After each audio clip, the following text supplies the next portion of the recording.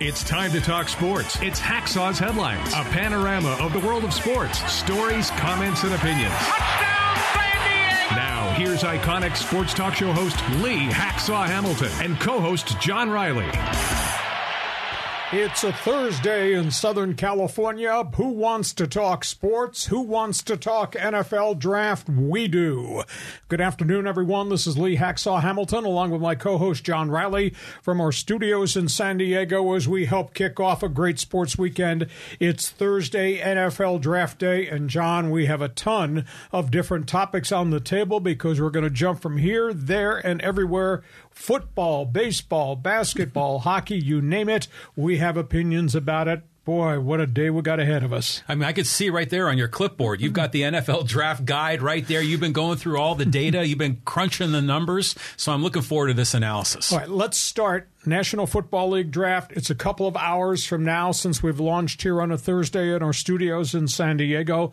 Let's talk about the top of the draft board. But before we do that, the Baltimore Ravens stole the headlines within the last hour. Oh. They signed quarterback Lamar Jackson to a record high contract, five years, 260, 179 million guaranteed, full no trade clause. So they finally came to a solution. Lamar Jackson came to the realization he was not going to get a max guaranteed contract, but what he got was 260 million, 179 of it guaranteed against injury, which means he's got in essence he's gotten 4 years guaranteed. Oh and wow. A no trade clause. It makes him the highest paid quarterback in the NFL. So he now vaults by Jalen Hurts, who signed a 250 contract last week. Those two guys have jumped beyond Deshaun Watson, who got 230 from Cleveland a year ago. And still out there, we have to see what happens with Joe Burrow, Cincinnati, Justin Herbert, Chargers. So the price tag on quarterbacks continues to go up and up and up. So, Yeah. how are the Baltimore Ravens sweeping by the headlines of the NFL draft to do this on the day of the draft? Well, they probably just want to lock him in, you know, so they got their quarterback settled, and then they can focus in other areas on the draft. But Jalen Hurts was what fifty-one million per year. So, um, you know, Lamar Jackson's what fifty what Probably 52 ish. Fifty-two ish. So yeah, you know, good for those guys, man. They're earning their money. Okay, let's talk about the NFL draft board, and we're going to do it a little bit differently here.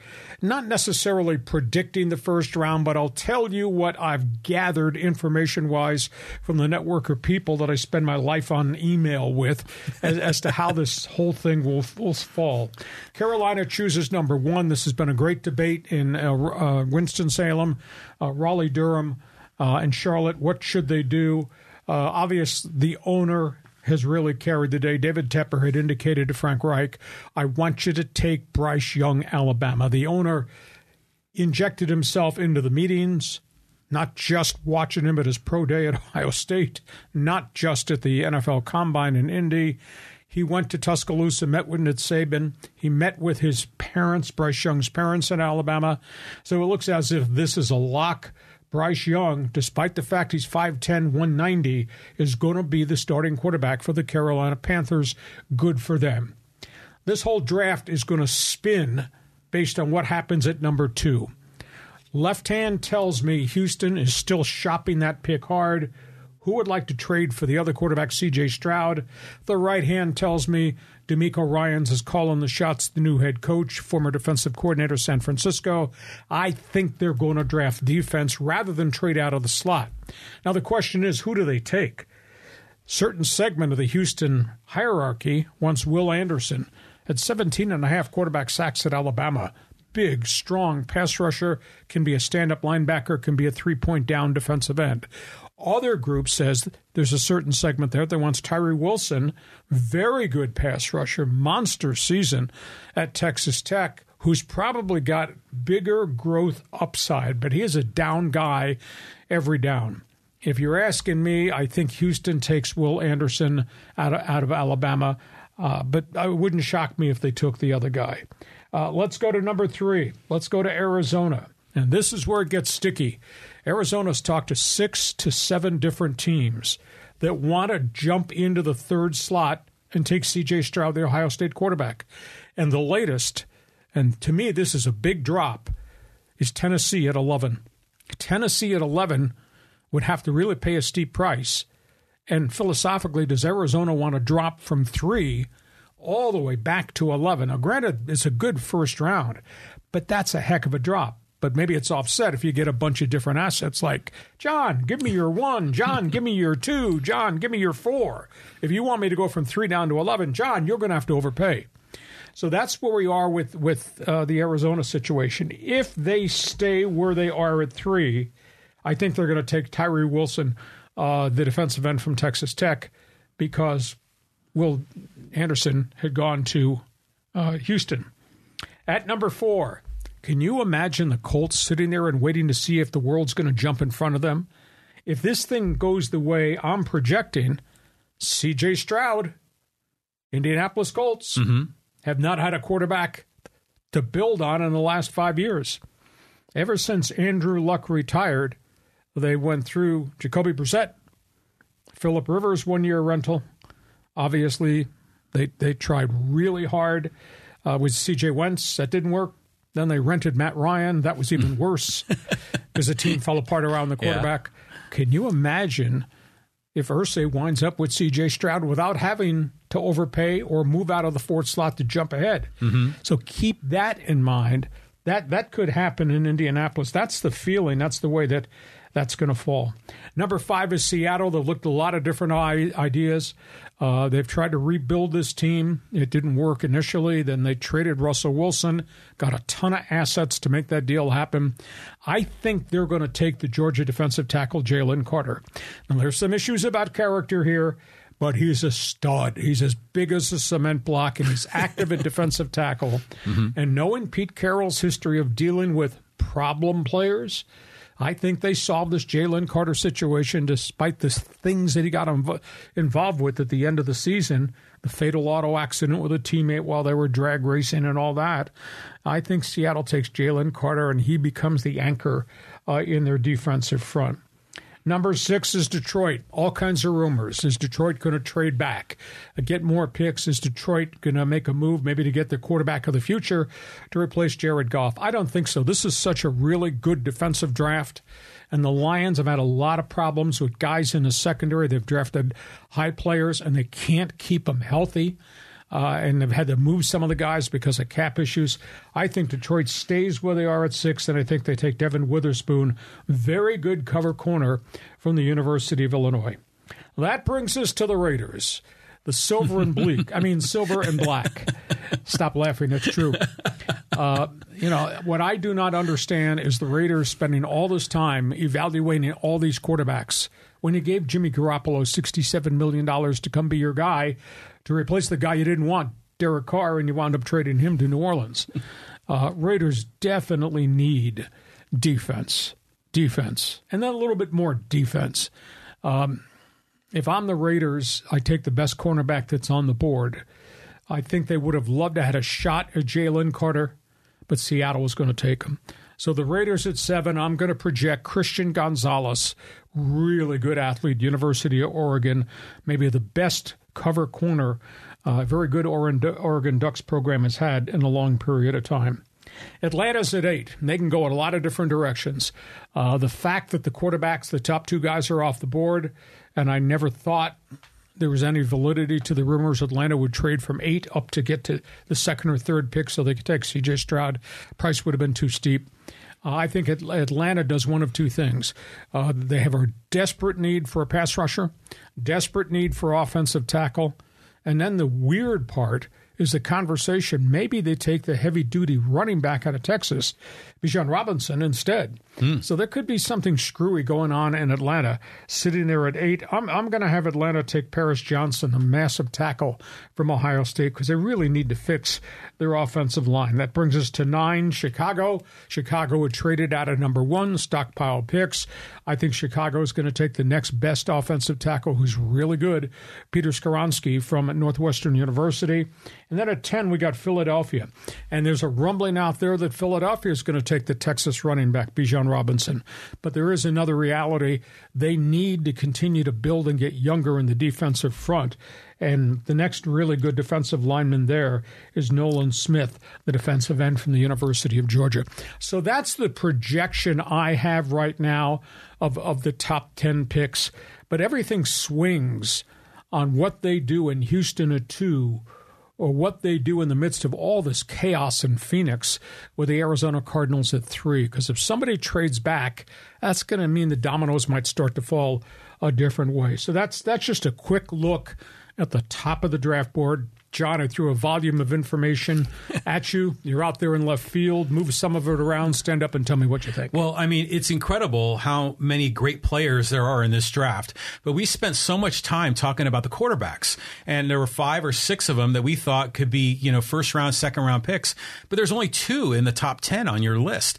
So I'm wondering if there's going to be more trades, if, if other teams are going to try to move up and secure some of those quarterbacks. I I don't think so, John, because it's such a deep draft defensively.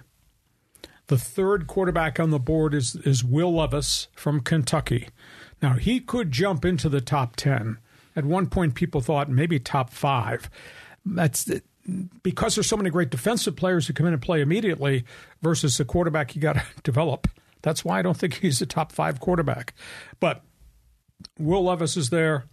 And then Anthony Richardson from Florida, who's a freak athlete, but is really an uncut gem. That's that's a developmental project. I think there will be four. excuse me, maybe the fifth quarterback of Hendon Hooker from Tennessee mm-hmm. gets drafted. I there could be five QBs, but this is such a deep draft defensively, and then you add on the massive quality offensive linemen and then at the back end of the draft, there'll start to be a run on the wide receivers. That's why I don't think you see a huge push that we've got to take five quarterbacks in the first 10 picks, because I don't think there's five quarterbacks in the, first 10 picks that warrant being chosen that high, being paid that amount of money. Because if you drafted them, you're going to have to play them. And some of these guys are nowhere near ready. So I, I think there'll be a couple quarterbacks mid round and then at the back of the round. But there's so many really good defensive players, offensive linemen, and then the, the, the package, select group of wide receivers. That's why there haven't been quarterbacks taken. Okay, let's move on. Hmm, okay. Next question here as we talk about the NFL draft a couple of hours away. Yeah, so I mean, we got to talk here a little bit about you know the Chargers because they've got a lot of needs to fill. I mean, where do you think they're going to be uh, drafting? They're drafting 21st, and I think they're going to stay there because historically, Tom Telesco, he's never traded up and seldom do you trade back that far back. Uh, my gut feel is, and they're going to get a really good player at 21. I get that now they'll get their choice. They they could give the new offensive coordinator Kellen Moore an early Christmas gift. Give him a pass catching tight end. And to me, that's Dalton Kincaid or Mike Mayers. Kincaid, Utah, caught 70. Mayers at Notre Dame, uh, caught in the 50s, but he's a much better blocker. They could go tight end there. It's weird with Austin Ekeler and all that productivity that they might consider doing something with Bijan Robinson of Texas. But Robinson had an 1,800 yard rushing season for the Longhorns, and this is a stud. Now, they may bail out there because the rumblings are somebody's going to take Robinson maybe in the top 15. They do need defensive tackle help. It might be a reach at 21, but uh, there's a really good defensive tackle from the University of Pittsburgh that I, I think they're going to pay attention to. His name is Calijah Kancey. A lot of people have compared him favorably to Aaron Donald, former Pitt mm-hmm. Panther mm-hmm. star. Uh, taking him at 21 might be a little early. He's not going to be there in the second round, I'll guarantee you that. Uh, and you know, then then there's a group of wide receivers because they're going to need a replacement a year from now for one of the veterans who's going to get cut either Keenan Allen's going away or Mike Williams is going away because they can't afford to have two receivers with cap figures of 30 million. So the wide receivers that they might look at, uh, I mean, it's it's worth considering. Jordan Addison from Southern Cal, more of a route runner than a real burner. Uh, and a kid who's really risen through his private meetings is Zay Flowers from Boston College, speed guy. And there's also a really good wide receiver from Tennessee, though to take him at 21 is a little bit early. So I, I think that's what the Chargers are going to do. I think pass catching tight end uh, is probably the way to go. Now, something weird could happen in front of them where both Kincaid and Mayers could get selected. Mm-hmm. You know, somebody could go 15, somebody could go 19. Chargers wouldn't get him at 21. But if that happens, that means somebody else is coming down the board. And it might be the running back, it might be the defensive tackle. Uh, you're a Charger fan, aside from hating the owner. uh, you do like the offense. You yeah. love the quarterback. I yeah, know that. sure. So tell me, who would you take? Well, I mean, I'm going back to that game where they collapsed against the Jaguars in, in the playoffs. I mean, what what was what went wrong that day, and what can they who can they draft to maybe solve that problem? Well, they've had historical problems stopping the run, which means stud cement block defensive tackle. Mm-hmm. That's the kid out of Pitt. Uh, but is that a reach? He's projected at the back end of the first round, maybe. Hmm. Is it a reach to grab him at 21? Uh, they don't historically trade back, so you couldn't say, well, Tom Telesco, general manager, trade from 21 back to 25, get some additional picks. Well, because you don't know if somebody else will jump in there and take the kid from Pitt. And they've never, ever really done that. They've never been aggressive uh, on draft day. But you're correct. I mean, they haven't stopped the run in three years. Mm. And the debacle against Jacksonville, how's that taste in your mouth? Here we are in April, yeah. and you're talking about bad taste in your mouth dating back to January. So mm. that that really bears consideration going forward. And you got you got the wide receiver thing you're going to have to deal with at some time, someplace because once you get beyond the top two stars. And then the third wide receiver, Joshua Palmer, who I think we all like, they don't have a burner. They really need deep down the field speed. Uh, just look across the border, Kansas City. Hmm. God, they got burners everywhere. That's what the Chargers have to consider there. Okay, on we go from there. Uh, let's move on in a second. But first, as we're talking about the NFL draft, John, I want you to explain to everybody about what we're going to do at the end of the show on Draft Day Fans Forum and tell people about the new idea we have about rating us and reviewing us. Okay, sure. You can get involved in the Fans Forum. You got a question about the draft for Hacksaw, just drop it in the live chat on Facebook or YouTube. We'll see here on our screen. We'll get you involved in the Fans Forum at the conclusion of Hacksaw's headlines. We already got a couple of questions rolling in already. So get in line, get involved. And yeah, if you'd like to leave us a rating and review, boy, that would be really appreciated. You know, on Apple Podcasts, it's common for a lot of podcast listeners to leave a review, five stars if you think we deserve it. So, you know, check that out. And give us a thumbs up. And hey, I have no pride. I'll take a five star rating. No problem at all. By the way, go to my website, leehacksawhamilton.com. If you've never read it, it's all written. You will really like it. A ton of data today about the National Football League draft, and I write on it every day, so it's there first thing every morning. And by the way, want you to make sure you tell all your friends. Tweet, text, email them, share what we do, make it available. On we go. Let's talk baseball as our podcast continues. Oh, I mean, I saw the Padre game this afternoon, and once again, they they just seem to be sputtering. So we got to get these guys in, in, gear. Well, the Padres have an off day on Friday. They really need an off day. What they really need is starting to hit. Uh, the Padres are struggling, or the Padres underachieving. I think it's the latter rather than the former. Uh, all kinds of statistics I could throw at you some explanations, some of them might be excuses. Fernando Tatis is stinging the ball. It hasn't started to drop in consistently, but he's had a bunch of hits recently. But going into the today's loss against the Chicago Cubs, El Nino was hitting just 222. Mm-hmm. But you get the sense that he's starting to find his rhythm. I don't know what to tell you about Soto. His batting average is now a buck 78. Juan Soto, get this, since early April is hitting 150. Wow. You know, and I, we've talked about his mechanics at home plate, his movement, the fact that I don't think because he's shifting back and forth, he's getting a good view to read the pitch out of the pitcher's hands. And if you look closely, John, at him and his swings, I think his mechanics are so flawed, he's tomahawking the ball. Mm. He's not getting clean, good swings. Mm-hmm. Does he hit a home run? Yeah, occasionally. He's got four of them. Does he get a bunch of walks? Yeah, but leadoff guys can get walks, and the guys ninth in the batting order can get walks. he's a big money guy. He's got to hit. That's hit right. For average, and he's got to hit for power. He's not. Uh, I think Manny Machado is hurt. I think there's something going on, and maybe it's got to do with his back issue. He's not swinging the ball well. Now, he's making phenomenal defensive plays at third base. Padres have one of the best defenses in the league, fewest errors in the league, turn a ton of double plays, and he's kind of the focal point of everything that's going. But Manny did have a couple of hits here, but that's only one game, so I'm not ordering World Series tickets yet. You know, going into this Cubs game, he was hitting 212. It is the worst start in his entire career, even dating back to when he was a 19 year old Baltimore Oriole rookie phenom. And since April, only one home run, though he did pop one today. One home run hitting 152 since April 9th. He's not the same guy at home plate. So those are my perspectives. You know, we can't say small sample size any longer, John. No. No, because the Padres have played 26 games, and these Yeah. guys are playing every day, so they're getting a lot of at bats. Mm-hmm. I don't know what they're going to do about Soto.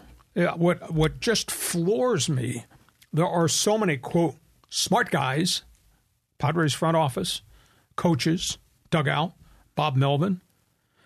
Am I the only one that sees the flaws at home plate with his stride movement? You look at video. Just go watch the replay of the Padre game. Mm-hmm. He's tomahawking the ball. He's not getting clean, powerful Yeah, swings. I agree. So that's where we are. That's my thoughts on the Padres. Your reaction? Um, yeah, so he's talking about the Padres. You're right. Like Soto, it seems like he, he tops the ball, you know, and so he just grounds out to the right side a lot. You know, even Mud and Don today were talking about how Soto used to hit a lot the opposite field to left field, and he's only done that once this year. So, you know, Melvin shook up the lineup, and he had Cronenworth batting at the top, and Machado now at five. And you know, yeah, Machado hit a home run. You know, he got the ball, and, and you know the wind was working in the left field, but Tatis almost had a home run to right, but it, he like hit the the wind coming in off Lake Michigan. That is so discouraging, and and it's not just these two months with Soto, um, or this month of the season in April, but it goes back to last year in August and September. He was way below, so I just wonder what's going on. You know, is it something in the drinking water in San Diego? Why is this such a struggle? Bad mechanics. Bad mechanics. Rocking. Bat movement. Not able to read the pitch coming. And then look at the swings. So I he is just a mechanical mess and there's nobody that wants to address it. And I, I just don't understand it. But 13 and 13, a lot of baseball still to be played, but they've underachieved as far as I'm concerned right now because they've played some bad teams and they haven't mopped up the floor with the bad teams they've played. On we go. Next team. Okay, on we go. Is uh, let's go up the I five to to see how the LA Dodgers are doing. I mean, they're not the Dodgers of old. 13 and 13. Welcome to the new world. At least this new world for one season as the Dodgers kind of reset their roster and their baseball payroll. Uh, you know, the Dodgers have got some guys that are hitting well. We we talked and laughed in spring training about James Outman, career minor leaguer. They saw things and they built with him. They fixed his mechanics. He's hitting over 300. Nice. He's hitting home runs. He's hitting for extra bases. He's stealing bases. So this has been a very pleasant surprise. This is the replacement uh, for Cody Bellinger. Um, Max Muncy, after a lousy start, man, has he found his home run swing? He's got 11 bombs already. Eleven. 11 home runs. Wow. and, you know, if he, if he can push his batting average into the 260s, 270s, and continues to hit with power, even though he plays third base like a, he's got a garbage can cover on his glove. Yeah. Uh, he's not real good at third base right now. Uh, you know, that's that's huge because they, they really need uh, that power there. Uh, Freddie Freeman has had a real quiet start to the month. I'm kind of surprised. I think he's hitting 289. He's not hit home runs of recent time, but it's a long baseball season, and Freddie Freeman is Freddie Freeman. He'll hit. Mookie Betts has had a slow start, which is kind of surprising, batting in and around 249 or so. So the, the Dodgers just are not a complete baseball team, but it's a very different baseball team from what it was before. The loss of Gavin Lux at shortstop has hurt them with a season ending injury. Miguel Rojas, who they got from Miami, is not even hitting his weight. Uh, Miguel Vargas seems a little overwhelmed at second base. Uh, they did just bring up Mike Busch, second baseman, who's hitting 337 Oklahoma City. So maybe they're going to sit one of these other infielders down and let Busch swing and see if he can handle Major League pitching. On we go. Let's go to the third team that we're covering here. Okay, yeah. I mean, the Angels are an intriguing team here because Shohei Ohtani is just having a hell of a, a year at, on the mound. Can you say MVP? I don't know if you want to say Cy Young Award winner, but is it humanly possible that Showtime Ohtani can do this? Wow. I mean, he's hitting about 265. He's got six home runs.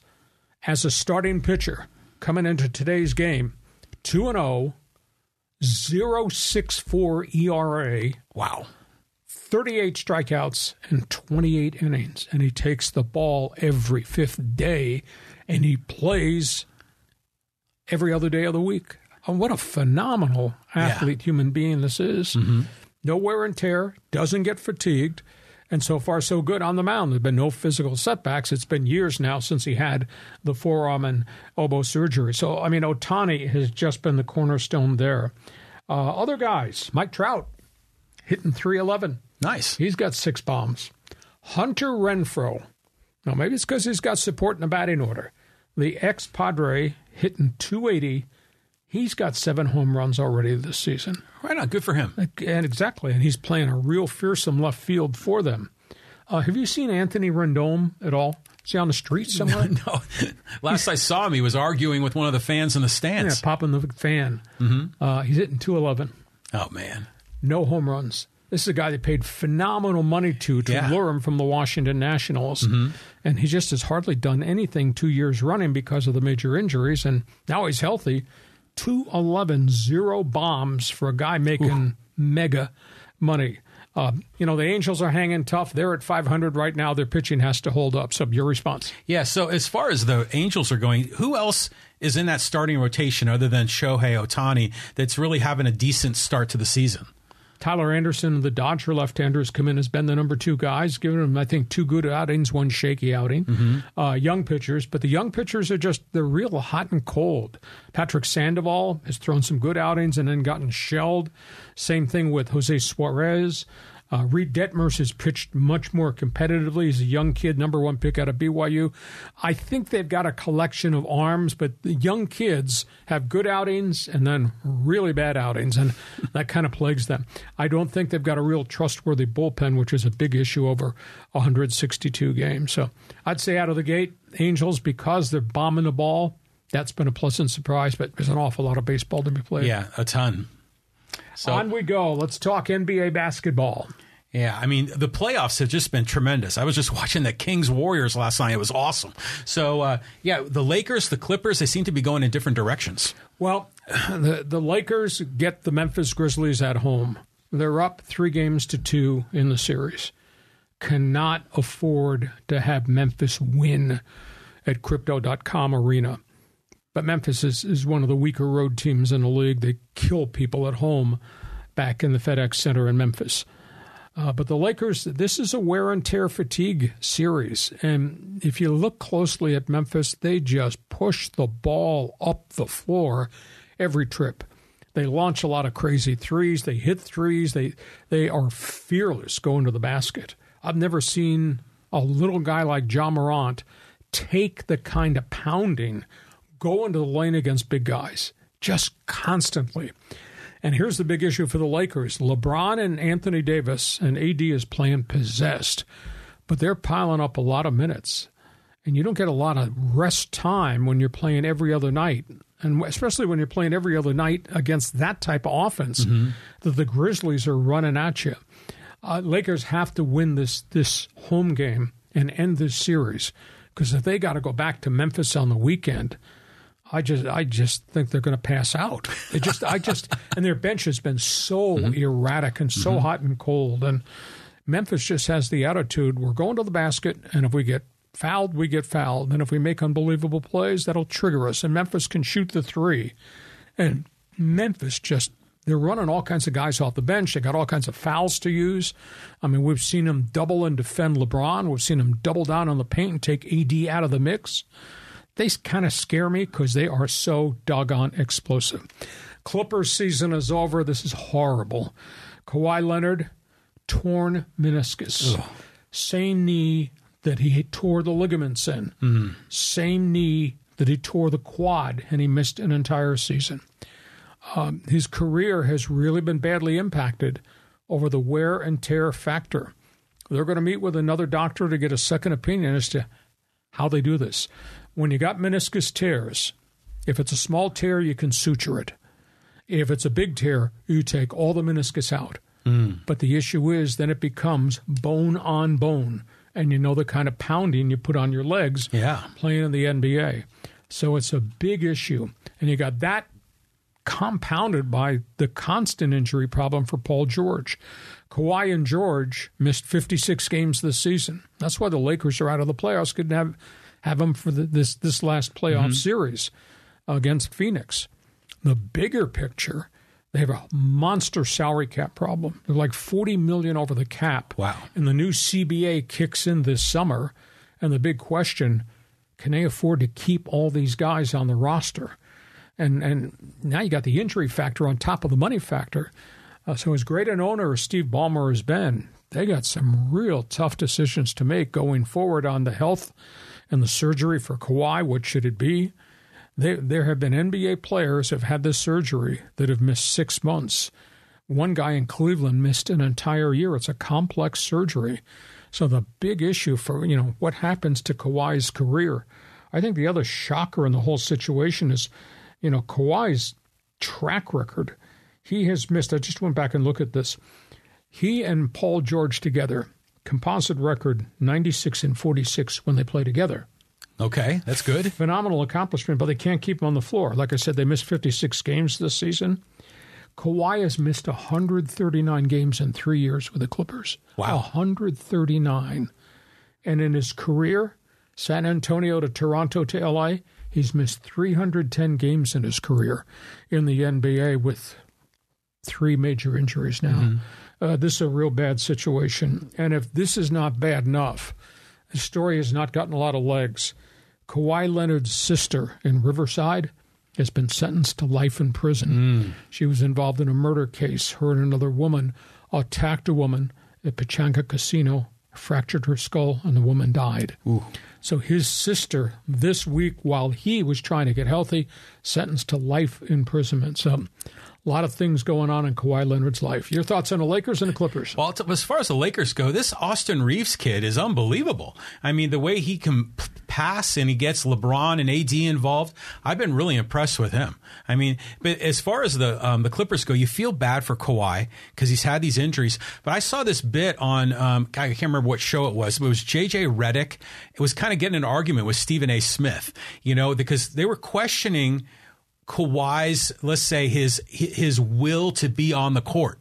And and JJ Redick says, "Hey man, you don't understand. You've never played in the NBA.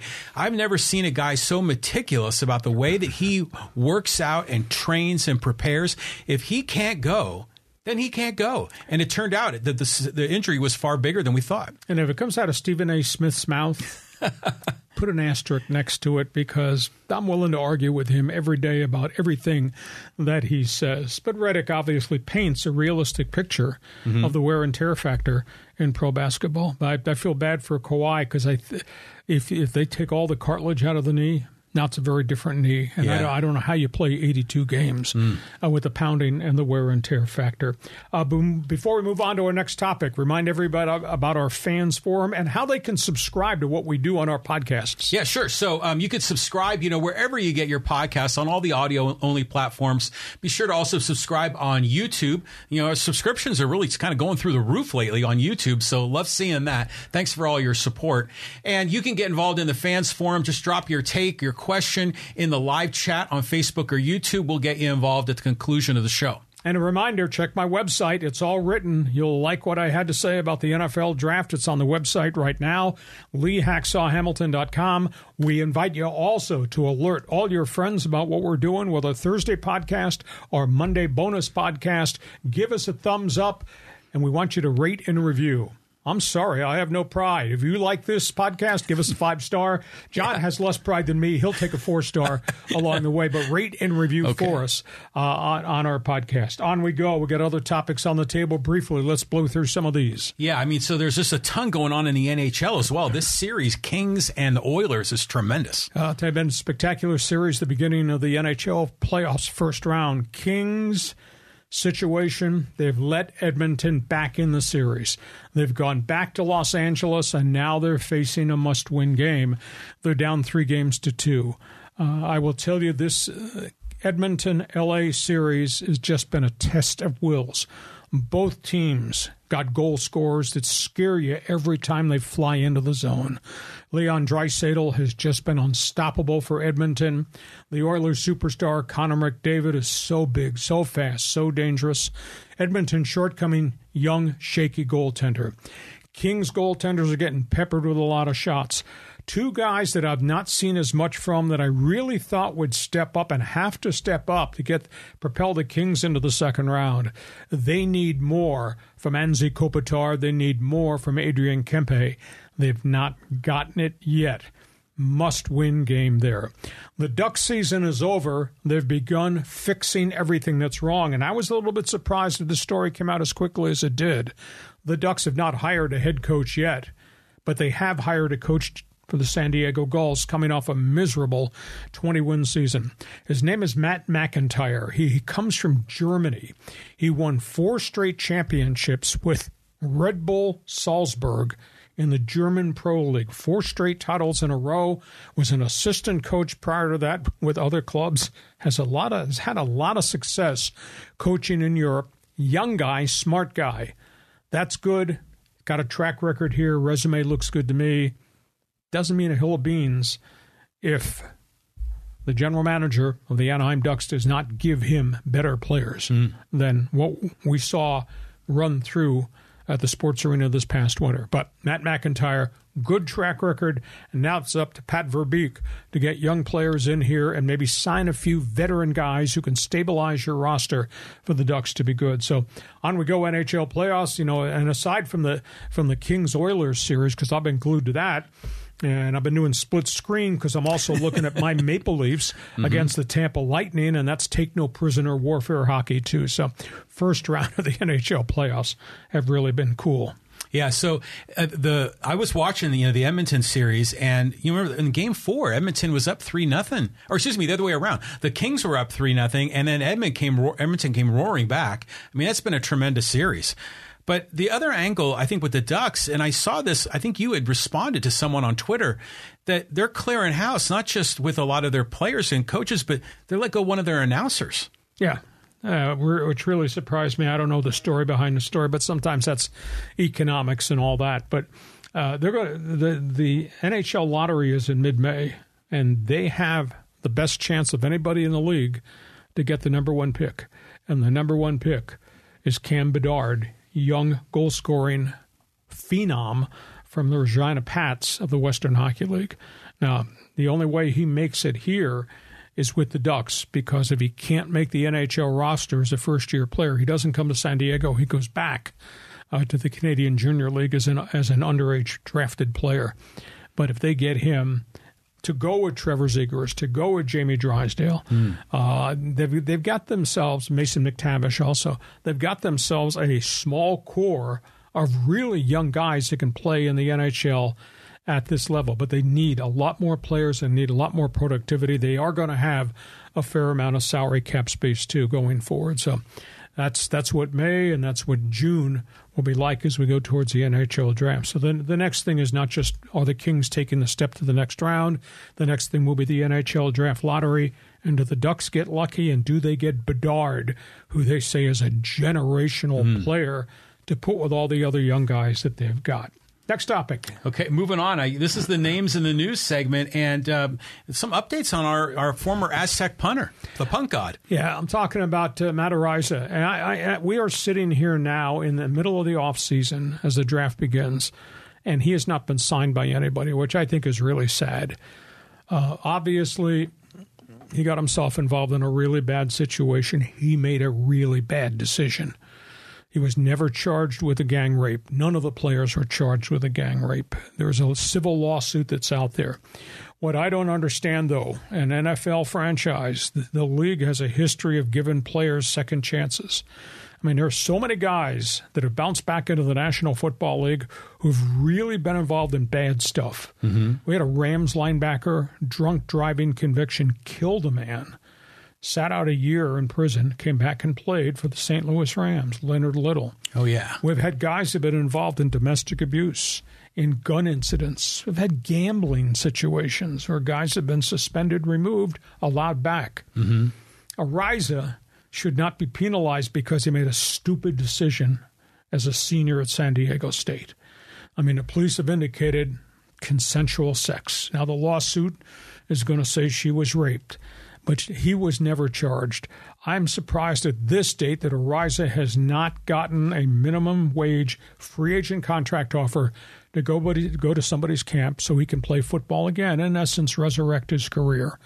Um, maybe post draft, somebody will make that move, but I feel bad for the kid. And since when in the NFL have players lost their careers because of stupid decisions? Not very often, because a lot of these guys get reinstated, and a lot of these guys have been involved in a lot worse junk than he did uh, at that campus party where he was never ever charged. Um, that's that's my spin on it. I feel bad for the kid. Yeah, I mean, I think you have to say, uh, you know, legally he wasn't charged. I mean, we can speculate how the whole thing went down, but the fact that he wasn't charged should give all the NFL teams a green light to sign him. So, you know, he's a local kid here, Rancho Bernardo High School. I, I love to see him back in the league.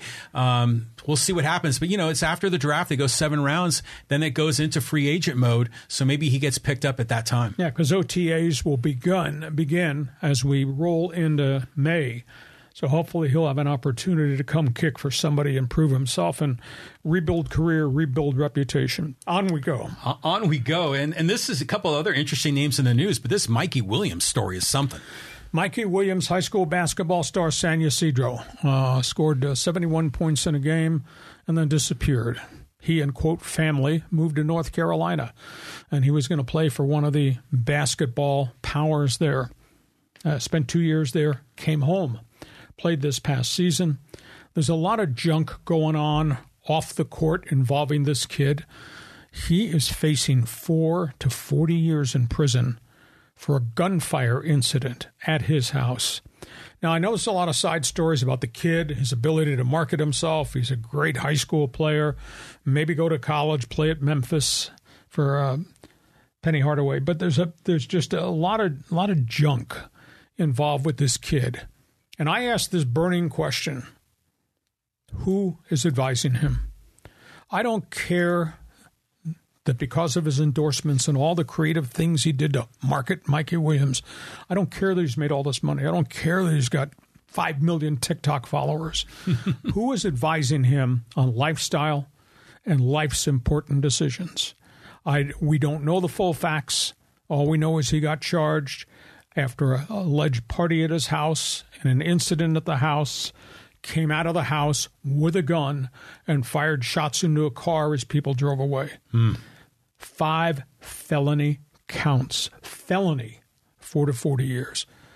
You know, I, I hate to use the word. I'm, I'm not going to try to prejudge him.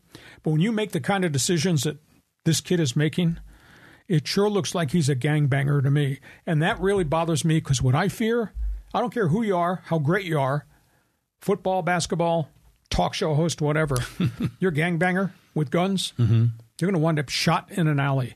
So who is advising him? And he comes from a family of athletes. Right. His father was a successful basketball player. So I'm I'm just really disturbed here. And he can't talk his way out of five felony counts no. on Mikey Williams, San Ysidro basketball star. I hope this is not a bad ending, but I don't like the beginning of the story. And again, young man makes a really, really bad decision. But I also throw it back who's advising this kid, controlling this kid, directing the young man? Because right now, I don't think Memphis is going to offer him a scholarship. I think he's toxic. Yeah, I think so. So they got that. The other story is really strange.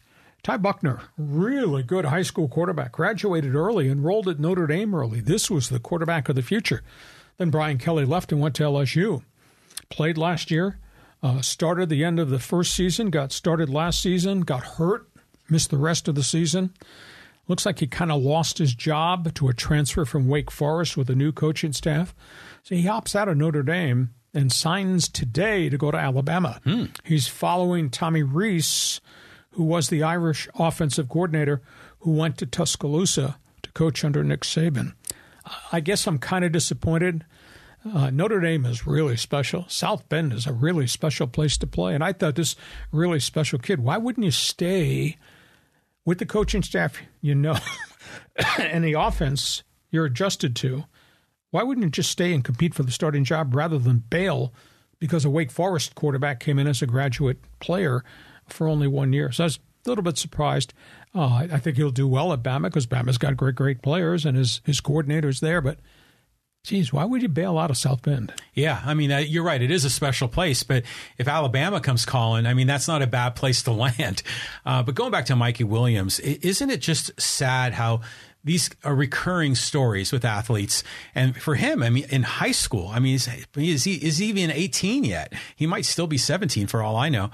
But it's just sad that you find these cases of these tremendous athletes that get caught up in the wrong things in their life. Like to your point, who's giving them advice? Who's guiding them? Who are their role models? Um, it's just really sad, and, and it just see this kind of thing happen. Yeah, yeah. And my biggest fear: you don't talk your way out of this. No, you don't plea bargain your way out of a felony. Luckily, nobody was hit by the bullets. Yeah, thank goodness. When you're standing there, pop, pop, pop, pop into a car, mm-hmm. there's no guarantee that that's not going to do damage. So I'm, I'm just really stunned at the depths of the story. Final topic on the table. Okay, we got one more. We're going to talk a little bit about golf. There's a merger going on. You you broke this with me. I'm curious to see what the story is. Greg Norman, who heads up LIV, he's the one that's helped creatively drive what's happened with the Saudi Super League and drawing all those name players with all the big bonus money to go abroad. They made contact with the LPGA about some type of working agreement where they would expand the do a global tournament with LIV financial backing. Hmm. Um, the PGA has met with the LPGA to talk about taking them under the PGA umbrella and helping market them, conduct their tournaments, bigger prize money, etc. It's fascinating to see where this is going to go. Now, that being said, the LPGA Tour is not what it used to be. You know, I worked in sports talk radio a long time, and at one point in time, we had phenomenal women playing on the LPGA Tour. Pat Bradley, Patty Sheehan, uh, a friend of mine, Betsy King, a whole group of really good young stars. The LPGA Tour took a different turn all of a sudden, all these great Asian American players mm-hmm. came from Japan and Korea, and they have an entourage of superstar talent. It's just absolutely phenomenal. But what we found is as they took over the LPGA Tour, two things happened. None of those great young players really spoke English. So, how do you market somebody who's not a stateside personality? Does not know nor does not want to understand the language. How do you market your tour with a superstar from South Korea? Mm-hmm. It's become a real big issue. And, and for some reason, America is not outside of Michelle Wie, and then she had injury problems. Mm-hmm. America's not been able to find the next great female superstar for the LPGA Tour. So they've kind of languished out there. We used to have an LPGA stop here in Poway mm.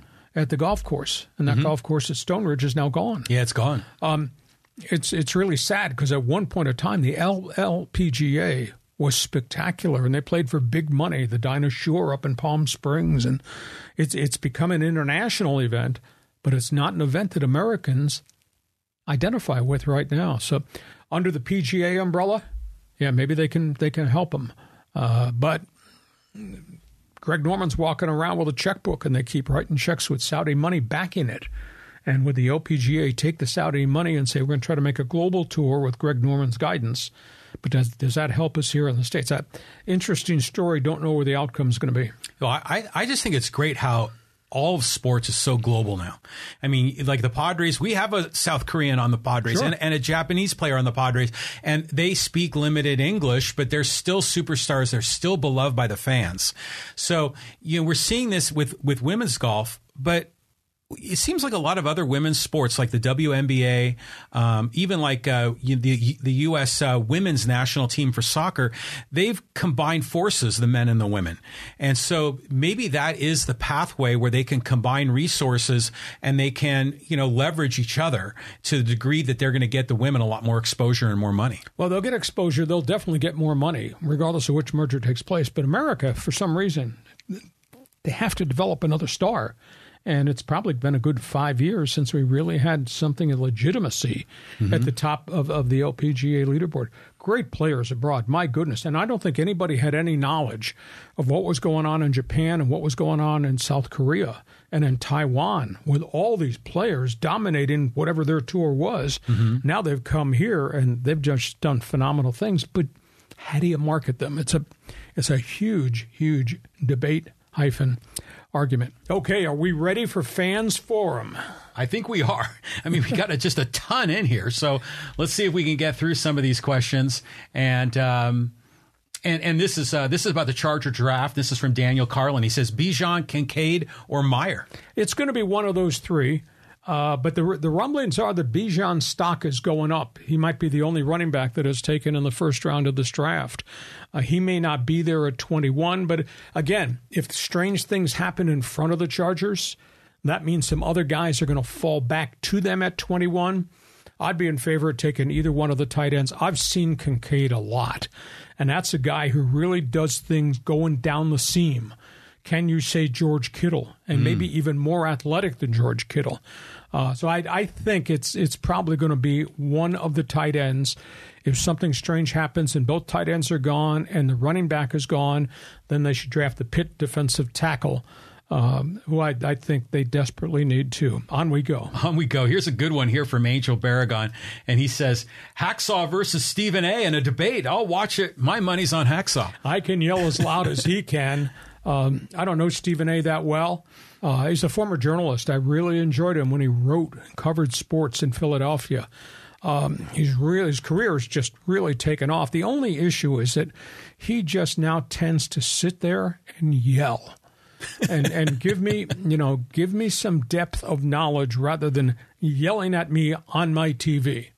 You're entitled to your opinion, but all he does is yell. And a lot of the stuff that he that he throws out there now is it's got racial tinge to it, and I just don't think we live with that in every story that has to be discussed. So he's doing well. Whether this longevity stays, he seems to be the hot guy. He's everywhere except in my living room. Uh, he's on every every platform ESPN has. So. I'll be glad to argue with him anytime about topics on the table. Oh, that'd be fun to have him as a guest on the podcast. But uh, I'll tell you what, when Saturday Night Live did a skit, you know, impersonating him, you know, I talk about LeBron James, you know, and he was going on about it. It was fantastic. But he, to me, he's he's fun to listen to. Um, I remember with my kids, just have him in the car and we'd listen to Stephen A. And it just made us laugh because because he was entertaining. But he's got a shtick and he knows how to use it. On we go. Next question. Okay, so let's uh, move on down the list here. And um, this is uh, from um, For- Force Ghost Fabio. He says Soto, he's going to get the batting coach fired. I mean, do the Padres even have a batting coach? I don't even know. Well, they, they change him yearly. It's an annual rite of failure. Um, somebody, I want you to watch the Padre game against the Giants on the weekend. Agree or disagree with me after you watch, then you, you get back to us on Fans Forum. To me, he moves around in the batter's box too much. He is never set. He can't read the pitch because he's changing the levels of his eyes looking at the pitch coming out of the, the ball coming out of the pitcher's hands. And to me, because he's moving so much, he does not get clean swings. It's like he's tomahawking everything. Maybe I should be the batting coach rather than the talk show host because if I can sight and see this and I know baseball, if I can see this mechanical flaw, why can't any of the smart people in the dugout or the coaches or the people upstairs, the analytics dudes, why can't they figure this out? But you you watch the games. You tell me if I'm right or wrong when we do our bonus podcast come Monday. Okay, I look forward to that. But yeah, you're right. What what are they doing with this guy? Are they maybe kind of hands off because he's a superstar, a prima donna? They don't want to, you know, try to tell him what to do. I mean, come on. Okay, let's move on. We got some questions here that are coming in from the uh, the YouTube channel. Some good comments. So let's get these guys involved too. And we'll go here and here and on down the list. And this is from Blunderbus999. Talk about Aztecs slashing the ticket prices. And he says, You are spot on with this take. The overpriced tickets um, and midday scheduling was stupid. Oh, I agree. Uh, 999. I didn't agree with uh, the the price hike in everything across the board. I, I just got the sense they were gouging the fans. Forty dollars to park on a gravel lot? You're kidding me. Wow, that's For a that lot. program. Now they might charge forty dollars in Tuscaloosa. Not at, they should not charge that at San Diego State. Price price t- tickets were way too high, and they got a great burst, and people were excited about Snapdragon, and they sold a record number of season tickets. The the starting time of the Arizona game was dictated by TV. That's not on San Diego State's situation, but the fans went away and they never came back. Uh, you know the fact that they struggled to get 17,000 in there for the last group of home games is a that's a really bad sign that fans are turned off by what happened. Um, and I will tell you this: their schedule this year, what a bonanza! I mean, they're going to get UCLA in here, and they're going to get their bad rivals in here, Fresno and Boise and Nevada. I mean, what a great home schedule! But are the fans going to come out? Because they're sure peeved about the ticket prices and they're sure peeved at Brady Hoke's offense. But let's give them a little bit of space. Let's see what they look like in the first game against my alma mater, Yeah. Ohio U. Yeah, that's right. And let's see if they can throw the ball down the field and let's see if they can protect Jalen Mayden. And let's see what else they do in the transfer portal because they got some scholarships to use. And I think there's going to be probably three more additions here uh, in the next couple of weeks. But I, I, they mishandled the entire launch of Snapdragon, and now they've turned the town off. And Brady's got to find the key to plug it back in to turn the light switch on to get fans to come back because they've kind of lost the community a little bit, sadly. I mean, they have an opportunity to make this a fan experience like Petco Park, you know, especially on Saturday nights, you know, under the lights and the warm fall uh, evenings. I mean, it could be special. Hopefully, they get their ducks in a row Gotta this win. year. We got to win. Yeah. Got to win. That's all there is to it. We march on. We march on. This is about the NFL draft. This is from uh, Sports Comics 559. Jake Haener, top five QB in the 2023 NFL draft. Well, five nine nine. Uh, Haener's going to go in the draft. I don't, it's not going to be first round. I don't. I'm not even sure it's going to be second round. But I'll tell you, the Brock Purdy arrival last year in San Francisco has changed everything as the way that teams are looking for quarterbacks. Uh, we had the report this past Monday on our bonus podcast that as many as 16 quarterbacks could get drafted. Now, the bulk of them will be at the back of the first round, but everybody is now looking for a gem that maybe we can develop. And one NFL scout said this past week Jake Haener has all the inqual- qualities and intangibles of Drew Brees gritty, stands in the pocket, very accurate, a real smart dude. You know, when Drew Brees came out of Purdue, he was 5'10 and he was an afterthought. And Miami said, no, we're not drafting him. And the Chargers wound up taking him later. And he evolved. And then he got hurt. And then he went to New Orleans, where he happened to fall in with a mad scientist and a coach in Sean Payton. And 50,000 yards later in a Hall of Fame career, we now know who Drew Brees was. Now, every 5'10 guy comes down the turnpike is not like Drew Brees. But the fact that an NFL scout who has watched Haener at Fresno State for three years links a lot of the traits that Drew Brees has with the Fresno State quarterback means he's going to get a chance to be on somebody's roster and then learn. And so you, you teach him the first year, and he goes through the weight and nutrition program and the whole intellect of learning football at the NFL level. Maybe he gets a chance to play. Maybe there's a star in the making. Because you can't rule out the history of Tom Brady sixth round, Brock Purdy, Mr. Irre- Irrelevant. Yeah, I mean, so it'll be fun to see where all these quarterbacks go. I mean, did you see Anthony Richardson? He said, "I'm from another planet. I'm from another world." So all these guys have interesting stories. There's also been some comments on our YouTube channel, people that are really questioning C.J. Stroud and whether he is really up to playing at the NFL level. You know, both you know mental and physical. So uh, I, this this draft's going to be great. What time does it start tonight? Five o'clock. Five okay. o'clock on Thursday. Don't call me. Don't text me. I'll be watching watching the NFL draft for a while. Okay. We got a couple more here you want to run through? We do here. And here's one from Oakland about the Oakland A's. This is from Arthur Korf. And he says, yeah, the 2002 total major league pay, uh, payroll was about 2 billion. Now it's over 4 billion, so it's doubled. But the A's payroll has gone down from 2002 to 2022.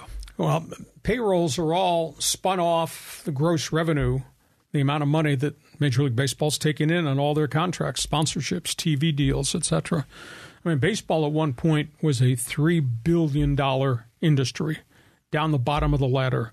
Baseball is now an $11 billion industry. John, it has rocketed in about five years. Wow. Now, it's not equal to the National Football League, but it's doggone right there. Mm-hmm. So that's why the payrolls have just gone up.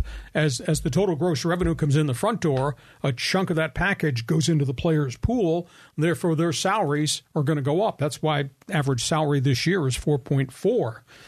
That includes a superstar. That includes a 25th man on the roster. So there's a lot more money there. The whole Oakland situation to me is an absolute disgrace. Uh, the fact that, that John Fisher was allowed to take all this revenue sharing and TV money, put it in his pocket, and not develop players. Mm. I mean, that's why they're sitting there at 5 and 20 right now. Uh, then obviously they they tried really hard with the city of Oakland, which I think is destitute, near bankrupt, to come up with a stadium. But Fisher wanted Oakland and Alameda County to pour a lot of money in as their share. Now, he was going to pay for a large chunk of the stadium himself, but there's infrastructure and there's land development. There's a lot of things that go into building a business entity. It's just not a stadium, it's a business development around everything there at the Seaport District. And Oakland does not have the money. And then Fisher just walked away and went to Vegas. But it's a real big baseball problem. And if you have John Fisher owning this team going to Vegas and they're going to build a new stadium, what's to say Fisher's not going to do the same doggone thing and pocket more money in Las Vegas mm-hmm. in a new entity? So I just have a real problem with with not just Rob Manfred, because this also goes to the union, not interceding and mandating that these guys have to spend more money that's where we are in baseball. Yeah, I mean, I think it's also getting increasingly more difficult to build stadiums in California. And and and and granted, you know, we have Petco and the Warriors built an arena, but it's still it's tough. And now you got three major league or pro level teams that have exited Oakland. You know, with the Warriors, the Raiders, and now the A's. So maybe it's just tough to do business in Oakland. Well, it is because Oakland's got a lot of serious problems. It's got mm-hmm. a population problem. It's got an economic problem. It's got a gun violence problem. Mm-hmm. Oakland's reputation, certain parts of Oakland, is really, really bad. But you know, your city is what your city is. And if there's no industry in Oakland, then how are you going to raise tax money to be able to rebuild, put it into your infrastructure? It's a huge problem. But baseball should have never allowed Fisher to operate the franchise, quote, the Moneyball theory, yeah. the way this franchise was operating, when they gave him all this revenue sharing and he was getting a cut of the piece of the TV pie. Mm-hmm. Hey, listen, hope you've enjoyed our Thursday podcast. We invite you to be with us every Thursday. We do a bonus package on Monday. Monday, we'll do a recap of the NFL draft, and Monday, we'll wait for you to participate to tell us how to solve the Juan Soto problem and whether you agree or disagree with what the Chargers had to say. And again, tell your friends about our podcast. Share the information. We invite you to subscribe. Check my website. It's all written, leehacksawhamilton.com. Give us a thumbs up, and I'll take a five star rating if you're willing to offer a five star rating, even though John would accept a four star rating out there in left field. John, enjoy the draft. Have yourself a great sports weekend. We will sit here, talk, and argue sports on Monday. Yeah, right on. Looking forward to it, Lee. Thanks for being with us. Enjoy the draft. Have yourself a great sports weekend. Thanks for being with us on Hacksaw's Headlines. Join us again for Hacksaw's Headlines on YouTube, Facebook, and Twitter. And find the audio version on your favorite podcast apps. For more content, go to leehacksawhamilton.com.